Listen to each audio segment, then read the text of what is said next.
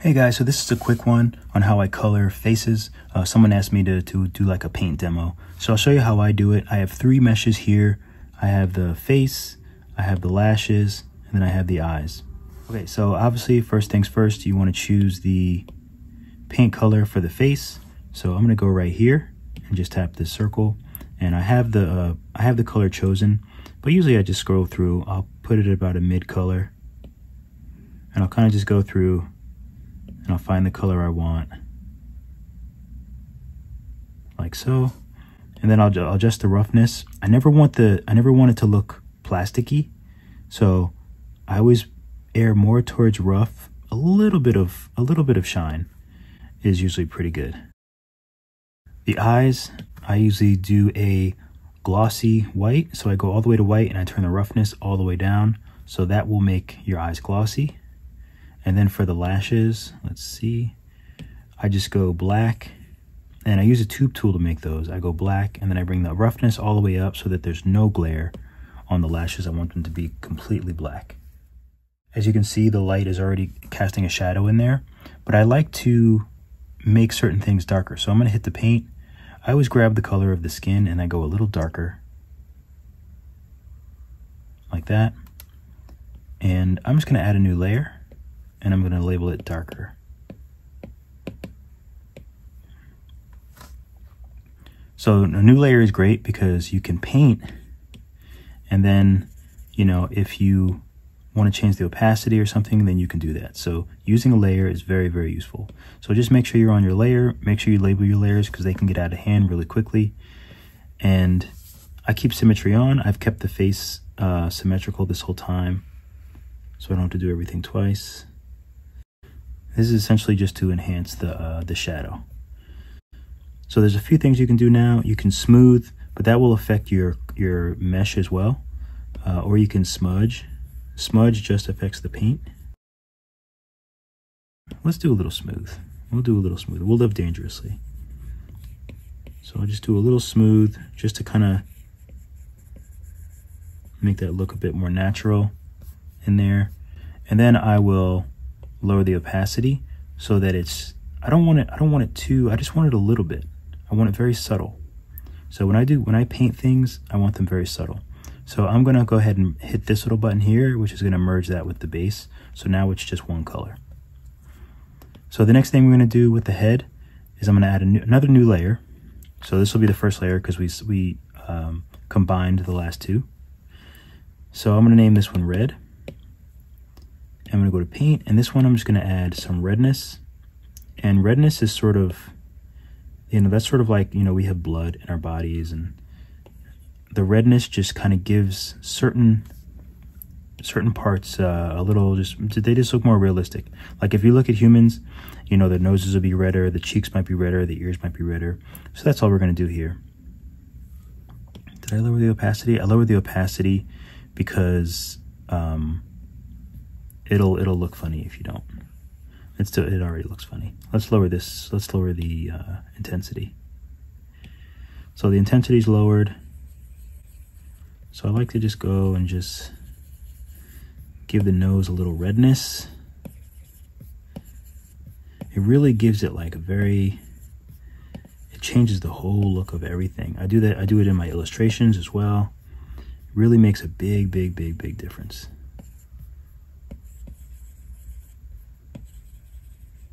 And you can look up uh, facial banding or facial color banding, uh, things like that.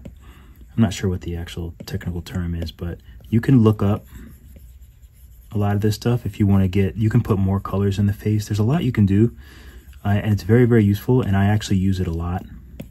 Um,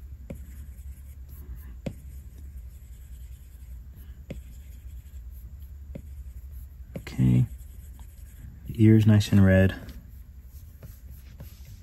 I think that looks pretty good. And sometimes I just add a little bit to other parts of the face just to give it a little flavor. Add a little down here. Just to give it a little flavor. Okay, I actually think that looks pretty good. And I, I don't even know if I have to, I probably don't even have to smooth it or lower the opacity. I think it looks good as is. But if we need to, we can always come back and lower the opacity. So that's the second step. I add some red, some red to it. Uh, for the eyes, let's tap on a new layer and we're gonna name it P1 because this is pupil one. Sometimes I do like multiple pupils. So let's go to black and we wanna go to, we wanna turn the roughness all the way down. We'll turn the opacity all the way up.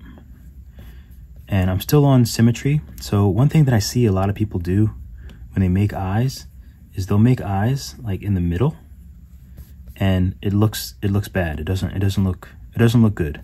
Trust me, it does not look good. Uh, when you do eyes, you want to make sure that, that your your eyes are inward, closer to the closer to the inside. I'm going to subdivide this once, the eyes, because it's still it's very very uh, pixelated. So let's subdivide this once. That's better. So I'm doing it in the middle, but I'm airing on the side of, you know, like on towards the inside. Let's see if I can make this a little better.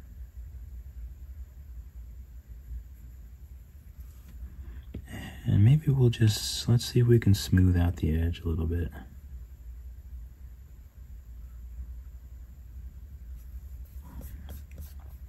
Okay, something like that. So for the lips, we make sure we tap on the face. We add a new layer, and I usually do up lip.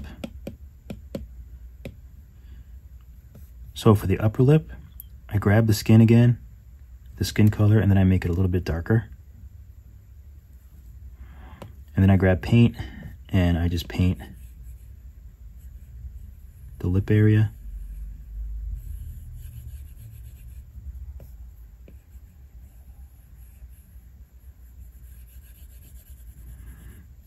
Like so. I think that looks pretty good.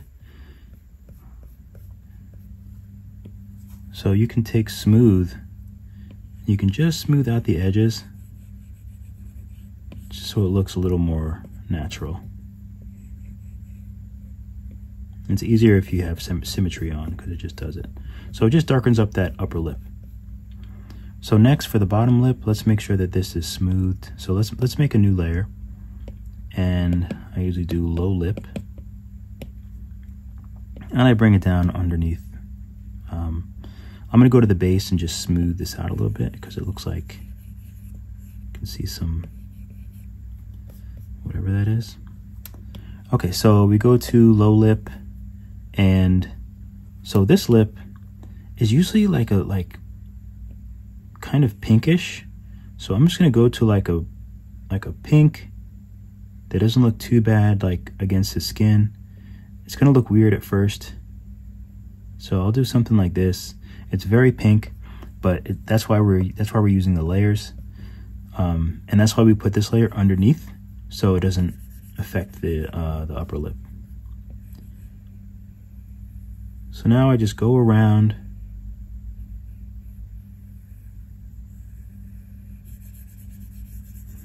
I just go around my lip like that and obviously it looks terrible.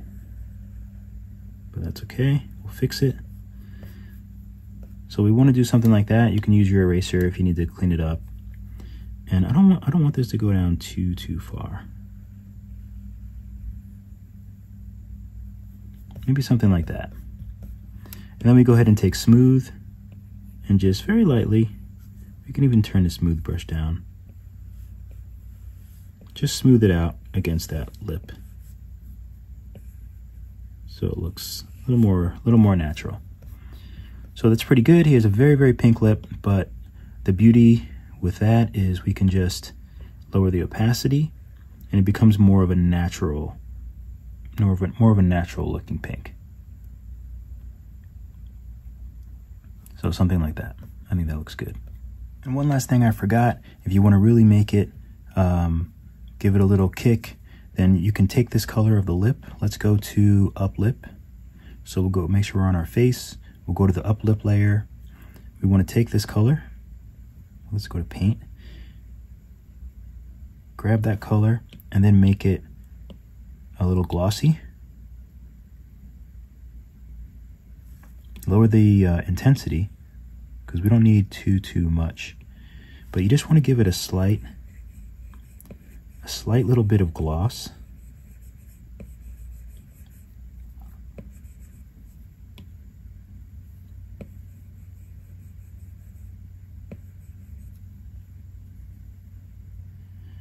See, just to just to give it a little bit of a of a different texture. So you can do that. And also sometimes I do it to the nose as well. So I'll take the nose, I'll grab that color, I'll just make it a little bit more shiny. Like I have a very shiny nose. So that's kind of why, one of the reasons that I do it. And I just add a little shine to the edge. Um, it's nice to have different, it's nice to have a few different uh, so, so sort of surface textures.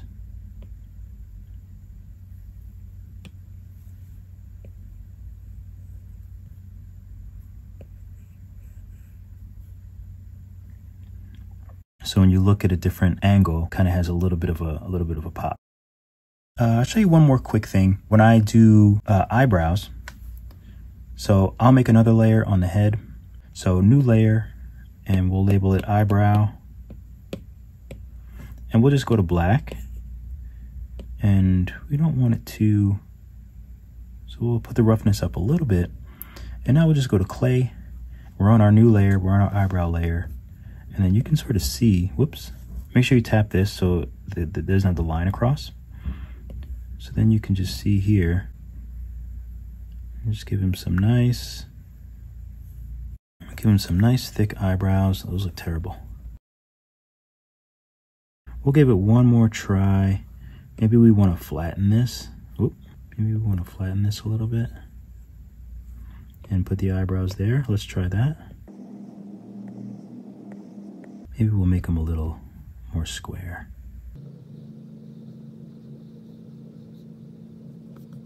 So lots of different options for eyebrows too. And you can always smooth it. If you want it to look a little more natural, you can just smooth around the sides something like that. You can take crease. Crease one of my favorite brushes. You can take crease and you can just make some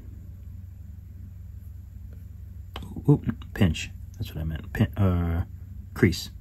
I accidentally chose cre uh, pinch. So take crease and you can do some creases in it if you want to if you want to give it some texture.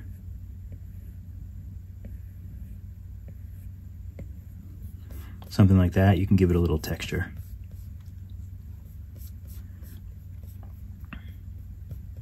And last but not least, uh, you can add some, some creases to the face just to sort of bring out the face a little bit more.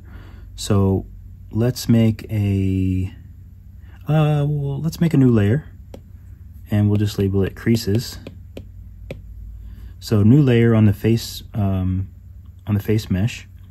We'll grab We'll grab the skin color again. We'll go darker. And maybe we want to add a crease around the nose. Remember, uh, symmetry is still on. If we want to do a crease around the nose, something like that. You'd rather it not be not be that harsh, you can take off the color and then you can just add the, whoops, in the wrong uh, tool. Story of my life. So you can do a crease and then you can just smooth it to, to sort of make it look a little more natural, like so. smooth around this, the, the side so there's no like artifacts or anything. And then we'll do a crease for the inside of the mouth. So we want to make it darker here. I'm going to use the color, use the darker color. And let's take, let's grab the color of the upper lip and make that even a little bit darker. So now we'll use the crease we make sure our color is selected. And we'll do a little pop right there, maybe lighter, and then just follow that center line like so. Maybe we can make this a little, little darker there. So something like that. Let's grab this color. Let's go a little bit darker. Let's see if we can just make a, see if we can just pull that out a little bit more. Smooth it. Nice. so that's pretty much it. That's how I make uh, faces. The last thing, uh, since you're here, I would choose clay and choose subtract. And then you can sort of color in the underside of the nose.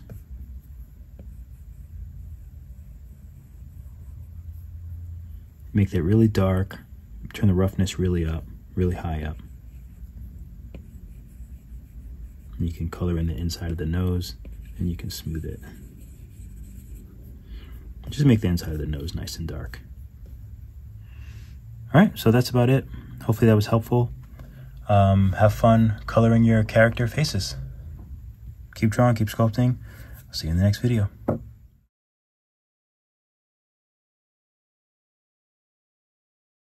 If you're interested in 3D modeling, then this is a great place to start.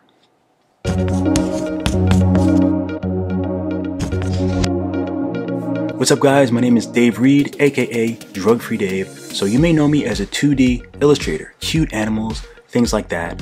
But this class today is very, very exciting. It's something that I've been working on a lot, and that's 3D modeling.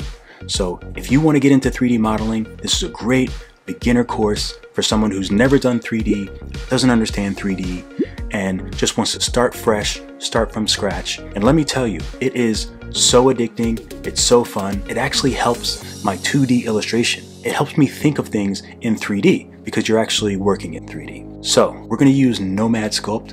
It's an amazing 3D application. It's only $15. It's, a, it's just a one-time buy, so it's not like a, a prescription, prescription, prescription, subscription. It's not a subscription. Uh, I use it on the iPad Pro 2021. Go to Nomad Sculpt website, make sure it works, make sure you can download it, obviously before you take this class, because I don't want to get you all excited and then you're not able to do it. Again, it's worth the $15. It's amazing. I think, I know you're going to love it once you get started.